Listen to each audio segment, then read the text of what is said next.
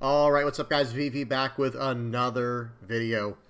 And in today's video, guys, we're going to be doing a little bit of a brainstorming, theory crafting style video. We're going to be talking about value and um, just kind of a concept I'm working on, some kind of way to explain value. Because when you're playing cards for years and years and years, certain things make sense to you that might not make sense to a newer player. Now, this video is not only geared towards newer players, it's probably geared towards any level. You might be able to take something away from this video in, in one way or another. But that's what we're going to be getting into today. Just give you a heads up. And uh, let's just go ahead and dive straight into it. So the first slide here we're going to look at, and we're going to look at a game uh, later in the video kind of explaining what I'm talking about, like through a real scenario. But this first slide is going to be a little bit boring, a little bit, of, we got to talk a little bit about concepts and ideas. So the, I'm just going to kind of read down this slide and we'll go from there. So determining value and generating advantage, because this is a card game, right? We're trying to generate advantage, more advantage than our opponent has so that we can overpower them, overpressure them, and close out the game. So there are three different things in particular when you're looking at value. There's concealed value, which is like, you know, hidden value. It's, it's the cards in your hand. Your opponent doesn't know what those are yet. But every one of those cards has some sort of value or you would not include it in your deck, right? And the same thing with your life. Life is a card you're going to draw if you take the damage, and it's also something that you can, you know, it could potentially be a trigger or something like that. Okay, now potential value, this is your ongoing or on-board value. That's the best way I can explain that. Like if we could just go back for a second, like Nami's, um, for those who don't know what this card is on the far left, she has an effect that when she enters play, she can activate it immediately, and every time she attacks, she can also activate it to generate more and more value, more and more card advantage. Okay, so that's what I mean by potential value. You have this, you've played a character on the board. It has some value because you can attack with it, and then it might have some ongoing advantage as well on attack effects and things like this.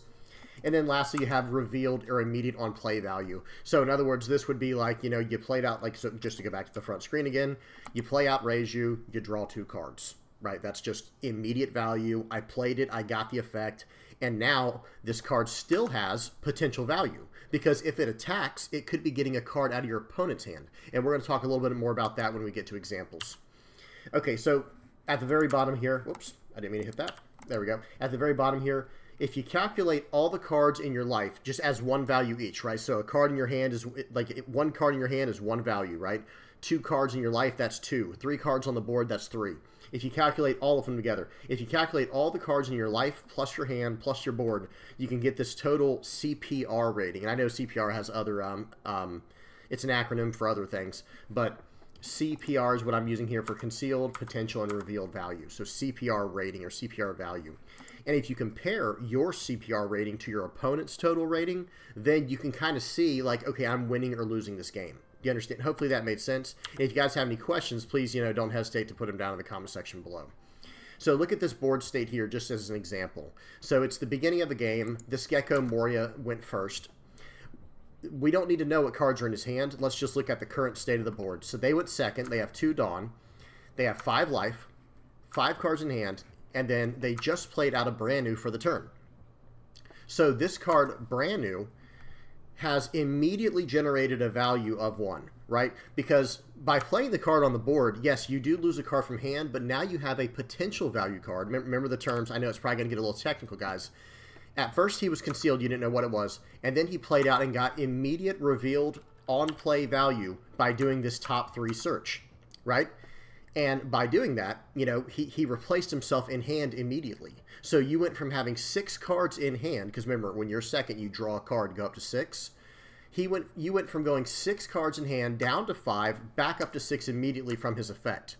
Now there is some potential to to miss on these searches, right? That happens. However, he still has his body on the board for potential value, and he also gives some hidden value. Some people might consider this potential value, but I would consider it more hidden value by dropping these two cards into the trash, the cards you can't search. You see what I'm saying? So that that is brand new is an excellent example of pretty much all three um, values added into one. So at the end of this turn here, this guy you, you can't swing on turn one, right? So his value, his like CPR rating would be like five in life plus five in hand, actually six in hand because he draws the card and one on the board. So you went to 5 plus 6 is 11, plus 1 is 12. And then you have a little bit of hidden value down here into the trash, but we can't really calculate that because it has to be used in order to be value. You see what I'm saying? And some of this is, you know, this isn't like a perfect science, guys. You know, I'm just trying to give examples.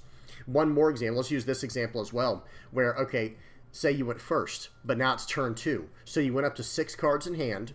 You used your leader's effect to trash your Perona, and then use, you know, trashing two cards from the top of your deck, playing out the Perona. And now listen to what Perona does. So this is some immediate value, right? When you play this card, you hit them for one card out of their hand, assuming they have five or more cards in hand, like for this example, right?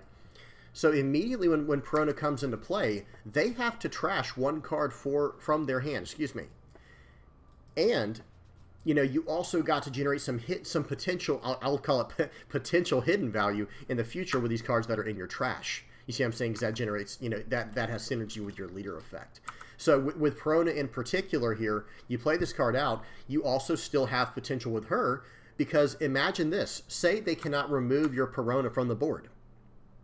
Okay, next turn, if you swing 5,000 power with this card, you're either going to take a card from their life or from their hand. So immediately she's generated even further value on top of being this body on the board. And then if they attack into her, she acted as a 2k counter to begin with. You see what happened? So in that situation there, she made them trash a card from hand. Then they made then this card made them trash another card from hand to counter out or lose a life, either one. And then lastly, it ate an attack up from your opponent. So it generated three specific like responses from your opponent, and, and that's a huge deal, right? That's that's massive. That is, that is a large amount of value that this this card generate that this card generated. And the nice thing about Gecko Moria, of course, is if they do remove this card, you do the same thing, you know, all over again, rinse and repeat. Okay, so real quick, so look at the board here. So just looking at, so this is, the, we're going to use this example. We're going to watch this video in a second here, but I have this on the screen for a reason. Let's just analyze the board state. We're spectators. We don't know anything about these players. I mean, this is me playing, but let's just pretend we don't know anything about these players here. Just looking at the board state, we can actually determine who's winning this game for the most part. There are, of course, you know, uh, factors, there are uh, unknown factors that can change the course of the game, but just looking at it from a top-down view here, from a bird's eye view, both players have five cards in hand. Okay, so in the hand department, in, or uh, excuse me, in, in like in the hand zone, both players are fine. Now let's look at the board. Well, the player in red has three characters versus only one for the black for the player using uh, Gecko Moria. Okay, but the Gecko Moria has three cards in life versus two in the opponent's um, in, from the opponent, right? And now it is the Gecko Moria's turn. This is where the shift, as you see, like I, I, I uh, paused right here and took a picture for a reason because this attack is about to change everything. So let's just add everything up real quick. So five in hand, three on the field, two in life. So the red and yellow Belo Betty player currently has a rating of 10. That is their CPR, you know, the quote unquote CPR metric I'm using of 10. But we look at Gecko Moria. He has 5 plus 3 plus 1, right? He has 8. 5 in life, excuse me, 5 in hand, 3 in life, 1 on the board. Now, again, it's not a perfect science or anything, but watch what happens here. This will determine whether or not you should block this card, by the way, because this, you know, the Gecko Moria player here is attacking for six into, um, what's his name here, Inazuma. Now, if, think of what the Belo Betty player has to do to counter out of this. Bare minimum two cards, because it's a 6,000 attack into a 4,000 defender, right? So, in that case, he'll have to trash two cards from his hand just in order to, you know, to stop this attack from destroying his character. So immediately it's pretty much not worth it, right? Because remember, it is the Gecko Moria's turn and he still has five DON!! left to work with. So so again, if he defends out with two cards, a 2k and a 1k, he will go down to three cards in hand, three on the board, and two in life. So that would be three, six, eight. Well, right away, without anything even happening, the Gecko Moria, Moria player is already up an advantage from that because he is at five cards in hand, three in life, one on the field. That's nine. So it becomes nine versus eight, and the Gecko Moria player has not finished his turn. And look at look what's in his hand, guys. Lucci and a excuse me and a uh, Great Eruption with five DON!! left. So this guy is in a lot of trouble if he tries to counter out of this attack here, right? Okay, so let's go ahead. We're going to look at that game real quick. Actually, yeah, we, we are going to look at the game. I'm sorry. Let me. Uh, I was going to say we might want to go further with the slideshow, but first let's look at this game. So this is the game in question, and I'm going to kind of break it down. Let me hit play. Okay, we're, we're going. Make, let me make sure we're in 2x speed and the volume's off. Okay, so so right here, just to start the game off, th this is one thing I will say. Let me pause right away. This is one of the reasons, by the way, like like this kind of logic. And again, this isn't a perfect science. This is just one way that I see the game. This idea of of card advantage, right? This was one of the main reasons I was not a big fan of multicolored leaders having one less life card than their opponent. Because what ends up happening is you'll have to combo X amount of cards in such a way that you can generate, you know, far more uh, advantage over your opponent over the course of the game. Well, that becomes very hard for developers and designers to balance. So, all right, so let's let's keep going into it here. So looking at the board right now, let, let me uh, let the Belo play out their entire turn, and then we'll pause it on um, the Gecko Moria's turn.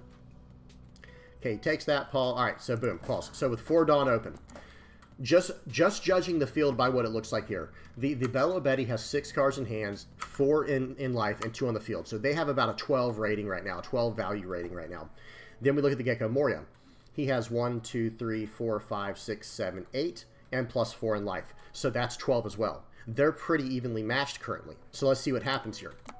Okay, so we're going to swing, you know, the, the Gecko Moria swings, use use the Ab Absalom's, Absalom's effect, excuse me, and removes the character.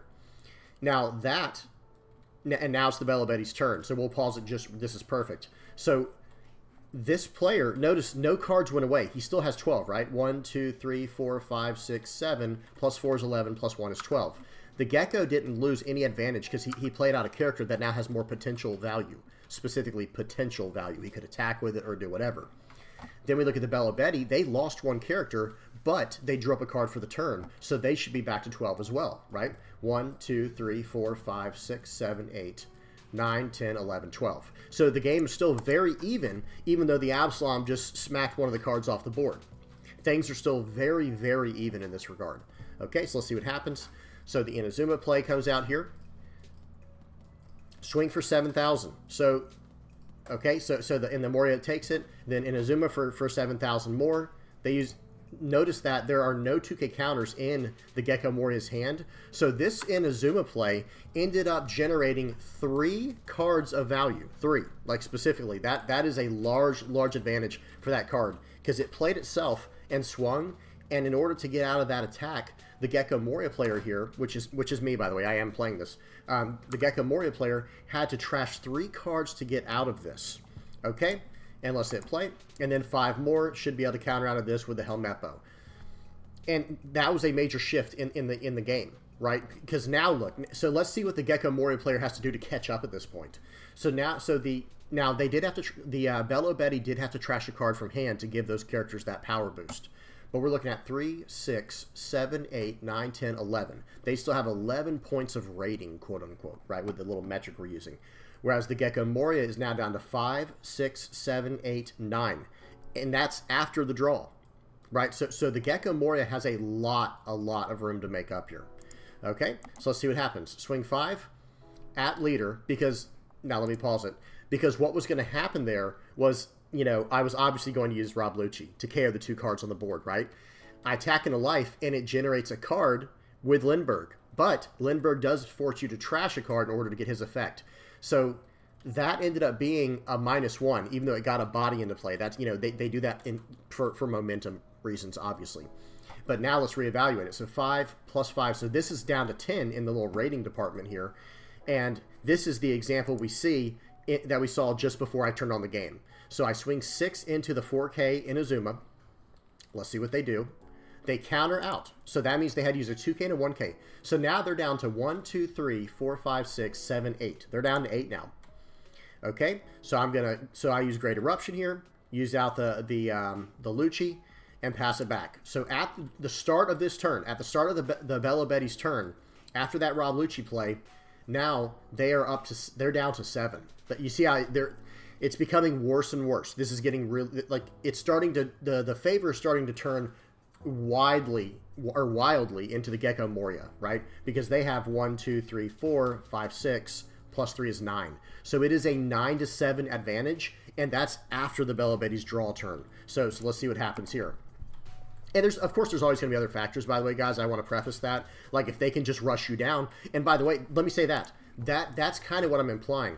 Is the Bella Betty is so far behind that it's almost time for a hail mary, right? Where it's like, okay, we we just got to go all in on our opponent here and just try to win the game because they have outvalued us at this up to this point, and now we're in trouble if you ever have a question of when you should swing for lethal or like try to go for lethal, this is a good method to use for that because the, the Belo Betty is up against the ropes at this point.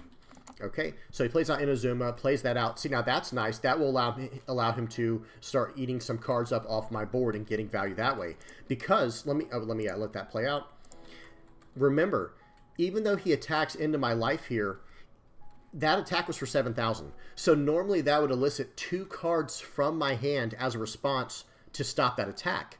But I used my, you know, my, my a, secondary resource system in this game called your life, which means that I'm not going to block out of any of that 7,000. I'm just going to get it to my hand. And it's still a, a, a, how do I say this? It still has potential value, even like this unrevealed, this hidden value in my hand, and it totally ate up that attack. You see what I'm saying? Like I know that might have been complicated, but hopefully, hopefully it made sense. Okay, and then he passes. Now, honestly, he he kind of pulled the trigger a little early by by trashing the Lindbergh, in my opinion. But I don't know what his hand was. Obviously, it, it, it always depends. But in this situation, it looks like I'm up to eight DON!!, and I can start playing out my eight cost Gecko Moria or, or all kind. I have all kinds of different options at this point, uh, depending what's in my trash. So swing five into him, see if he has any counters. Okay, he takes that. I'll play out Gecko here. I think I get back a Hell Helmeppo and uh, yeah, and, a, and an Absalom. Take out the Karasu, and now the board's mine. And now look now look at the difference in value. By the way, Gecko Moria is a card that generates massive amounts of value, right? Very large amounts of value. So in this case, my opponent is down to two, four, six. They're down to six overall CPR rating, like that little system I was telling you about. That's all they have is six. Whereas right now, as as Gecko I have one, two, three, four, five, six, seven, plus four, eleven. So it's 11 to 6 right now. This turn has to be devastating from the Belo Betty. And as we know, they kind of have to go all in at this point. They don't they don't really have the option to just stick in this game. They don't have the value. They don't have enough card advantage to stick in the game at this point. Okay. Let's see what they do. Trash a card from hand to give all their guys plus 3,000, which that's a great idea. You got you got to make up room somehow, right? So he swings in for eight, swings in for seven. I take both of them so I can bait out into this 2k, 1k counter on the leader. Because remember, they played Emporio Ivankov this turn, so they can't attack with that card. It does not have rush. Okay, and again, they, they tried. That was their only option, and then they tap out because there is no, there was no other option. They, this is the card they had in hand. They had the uh, the four cost Ivankov, not the five cost. They had the four cost in hand. That was their only possible way of winning at that point in the game. Okay, so let's go back to the slideshow real quick, and we can wrap up from there. All right, here it is. So certain cards, like I said, just to go back real quick, there, there's really three major areas of value in this game. And, and, and, again, this is just my opinion. This is just my own little study, my own way of uh, kind of determining how value goes in the game. There's probably a way more complex way of looking at this because th this is just a basic way of looking at it. There's got to be a way more complex way of looking at it that we'll talk about a little bit later. But this this is at least good to get people started and you guys tell me what y'all think in the comment section below on this. But with, when it comes to brand new, one thing that's just incredible about brand new and Spandam for that matter is you're playing out a body, right? It's a 1k counter in hand, so it still has that hidden value of 1k counter. But you're playing out a body that does a top three search. So it might replace itself immediately, but it also fills up your trash. You can't overlook that you know that hidden level of value there. It's not. I mean, it could be potential value in the future with Gecko Moria or with Rebecca, but it is hidden value straight away. So this is a very very valuable card, and I think it's one of the main reasons a lot of people run this in pretty much any black deck now. Any deck that's running black now will run this card because of the synergy it has around it. Perona, similarly, we talked about this as well. Okay, with Perona, say you play this out like like in the example we showed right here, where you just play it out just like this okay, this card, as soon as it entered play, it replaced itself, right? Like in in an inverse way. Instead of you drawing a card, you made your opponent trash a card. I know that's not exactly the same, but it does, you know, for the sake of math, it is basically the same. If I'm plussing one, that's good, and, it's just as good as if you're minusing one. I'll take either one if you're my opponent. You know what I mean? If I'm plussing one or you're minusing one, that's fine with me. In the meantime, I've established a 5,000 power body, and now you have to answer that as well you know, and I won't even go into like I said. There's like an advanced metric that I don't, I don't know. It'd be really hard to compli- uh, to calculate, but there's an advanced metric of like you know what Gecko Moria does, getting cards back from your trash. So even if they KO this card, it still retains value by being able to get out of the trash. You see what I'm saying? It's very, very powerful in that way. So Perona very very strong. After you play it, you establish this 5,000 power body. They trash a card, and now next turn it might attack and get another card out of their hand or if they remove it with something like even let's even say it's a hound blaze right? Let's just say they remove it with a hound blaze. Okay that's fine. But they had to use a card from hand to remove it still. You see what i'm saying? So very very strong uh, very strong card very high value card.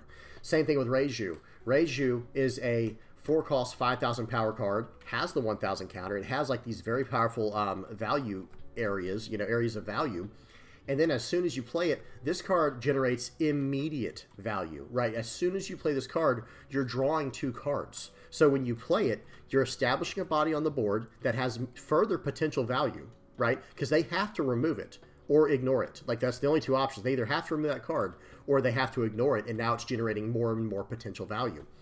But it generates immediate value by drawing two cards. So if you have five cards in hand and you play this card to go down to four, you go up to six while establishing that body. So very, very uh, high value card. So um, talking more on the advanced side of this idea, there are cards that have different, you know, these are just vanilla cards we're looking at on the screen. And this one card, two card, three plus that you're seeing on here, this is how many cards bare minimum that is required to answer these cards one attack. Attacking just one time with a 5k or 6k will elicit a 1K or 2K response. Not counting events, by the way. Sorry, guys. I'm not counting events in this in this specific example. Now, with a 5 cost or a 6 cost character, if they swing for 7k or 8k, you're basically going to have to drop a 2k and a 1k or a 2k and a 2k to get out of that. So you're at bare minimum getting two cards of value out of their hand. So you see how these cards these are cards with no immediate value, but with potentially very high, or well, I, I'm going to repeat myself. They have very high potential value. That's what I was trying to say. Is they have when you play them, yes, they're, they're already good as is as a very strong body, but they don't have any immediate effect to help you retain, and you know, retain board control or advantage or anything like that. You're basically putting down a, you know, you know, putting up money up front to hopefully get something in return later. You're, you're saying, okay, I'm, I'm going to put this card down now so that it can hopefully pay for itself on the next turn. And it might not, right? It might it might not pay off. They might remove it before it can generate any of that potential value we talked about. And then of course for seven cost or higher characters, they usually elicit three plus cards just to stop the attack. Okay, just to stop one attack. That's kind of what we're going for here. Okay, so just to go over some more uh, like examples of immediate potential and uh, hidden value, that's what we're going to look at here. Cards that have immediate value there are even types, right? Any kind of rush type character, when you play that card, you can immediately get value from it. Not only, not only, let's let's use Zoro for a minute here. When I play Zoro for three cost, he gets to, so I've established a body that has to be dealt with, right? Or, or you have to ignore it, and then it generates infinite potential value, right? So, so I, I play out the Zoro, I attack with it, it gets immediate value. So when I played a card from hand, it got a card out of my opponent's hand, or got one of their characters, or lastly, it got a card from their life. Those were the only three options, right? And and that's fine. So now the card is already essentially paid for itself. Now, if they remove it, it just got another card out of their hand. But if they can remove it with a leader attack or a character attack, that's where you start getting into the complications of should I defend out of this or should I let it go? And and that does, you know, that that's going to come down to each individual situation.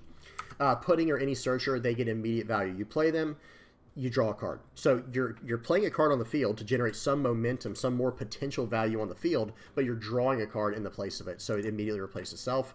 These that's why searchers are so good in One Piece. Typically speaking, searchers are in almost every deck, right? Okay, now for potential value, if you play out this Monet on the left here, Blocker is a very strong keyword for potential value. So is double attack. Double attack has a lot of potential value. It might not do anything, right? They might KO the character or bottom deck it before they even have a chance to make something happen with it. Or if you get to attack with it, you can take two life, you know, cards from them.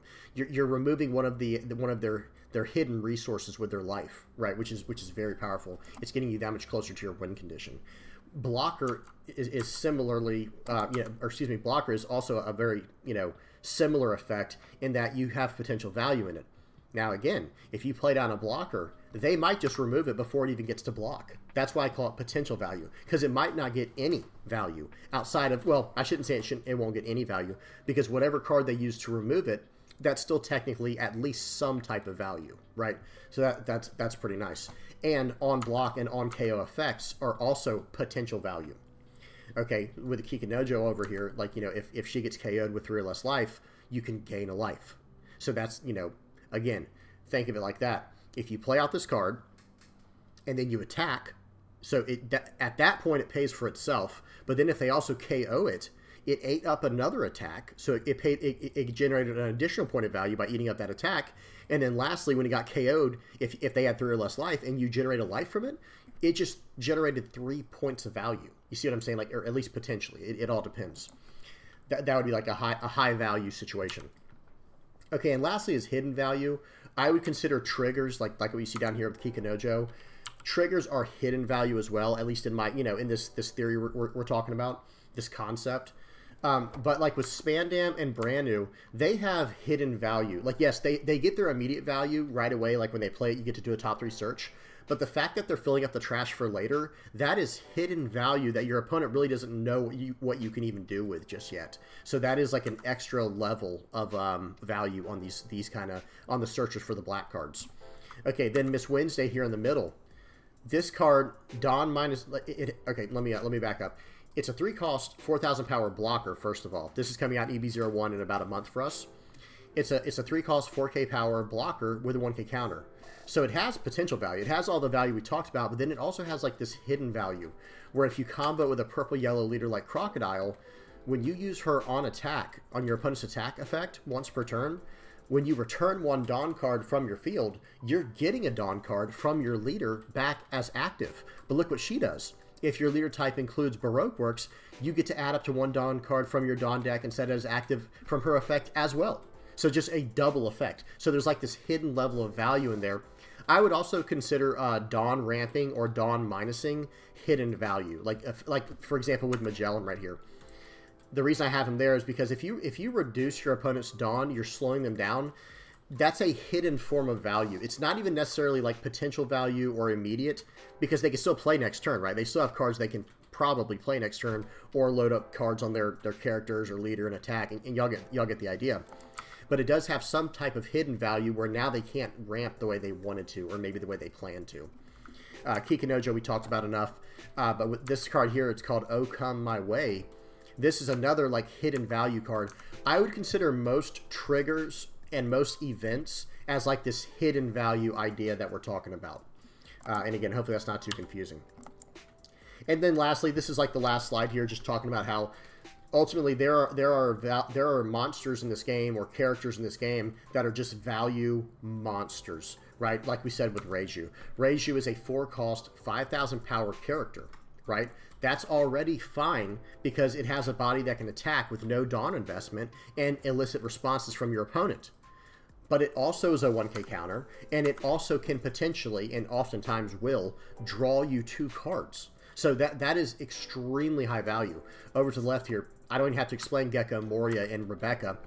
These cards generate such a large amount of value, right? Because your recurring effects you know, like with these examples we were talking about, you know, if someone swings in with Zoro and they have to trash a card from their hand to stop the attack, well, if it's Rebecca, guess what? Or if it's someone running a deck that runs Rebecca, Rebecca can be played and get that card right back out of the trash and get it straight back to your hand. And it's a blocker now with more potential value. And then Gecko Moria, like I said, this is a card, as soon as you play it, Number one, you have a 9,000 power attacker, which that can't be blocked unless they use, or excuse me, countered. A 9,000 power attack cannot be countered unless they use at least three cards from hand. Right? Again, not not talking about events. So so that that alone establishes a body that will create a lot of potential value. And then lastly, it can play out, or probably most importantly, it can play out a four cost and a two cost, or up to a four cost and up to a two cost from your trash. So back to that the hidden value from a card like Spandam, you're putting these cards in trash that you might be able to reuse later with a card like Gecko Moria or Rebecca. Okay, and then Big Mom, same thing. Charlotte Linlin, she, she's she's the same idea. She's a 10 cost, 12,000 power character. Those stats alone are intimidating and hard to deal with, right? But also, when she comes into play, your opponent loses one life without being able to use any hidden value. So, so you know, you're, you're effectively trashing a card from their life and you're gaining one life in the process. So this is a card with a very large momentum swing. And I didn't have the card included on here, but like cards like Lucci, Rob Lucci, and even cards like the new seven cost um, Raging Tiger, uh, whatever it's called, Gravity Blade Raging Tiger. These cards that are two for ones, those are very important. And the cards you see on the screen here, all of these are bare minimum two for ones basically as soon as you play them, right? Because even Nami, say you play out Nami, three costs 5k, and, and you know, let's say you have four DONs, so you can actually draw the card with her effect. So she replaced herself immediately. And then if they KO this character, the, the Nami on the left here, by using an effect from their hand, okay, that's fine. You know, they just two for one. They just allowed you to two for one them with this Nami. But and and it's smart for them to do that, right? Because if they don't, then you're going to generate even more value over the course of the game with this character's effect whenever she attacks. Okay, and Prone and Rage we already talked about pretty extensively. All right, guys, that's about it. Um, I hope y'all enjoyed that. Uh, if you have any comments or questions, please don't hesitate to leave those down in the comment section below. It's been a while since I've done one of these uh, brainstorm theory crafting style videos, and value is one of those things that's just really, really important. And like I said, this is just a basic um, introduction to, to interpreting and calculating value, like when you should or shouldn't attack or, or excuse me, counter out, or maybe when you should go all in, when you've determined like, wait a minute, because of the, the current board state, like let's go back to the one example, because of the current board state, maybe I have to go all in. It's my only chance. Maybe not. You know, again, it's going to come down to each specific game and each specific situation. And, and I think once you learn how to calculate this kind of value, value, you can really take your decisions to another level. And I think the, the the good players out there, like the really good tournament players, the pro players who are always you know doing well in tournaments or doing well at your locals, they already understand this, but they probably just don't know how to explain it. And hey, even I, I don't even know how to explain it perfectly. Hopefully, what I did was enough for you guys to to get a good idea of what I'm talking about. It's not an easy concept to explain, but once you understand it, it starts really making sense. Okay, well, that's about it, guys. I'm going to go ahead and leave it on uh, this last one here. To, or actually, I'll leave it on the little title screen for, for the uh, end of the video. Again, if you got any comments or questions, please don't hesitate to leave them down in the comment section below. Uh, please don't forget to like and subscribe. And until next time, guys, peace.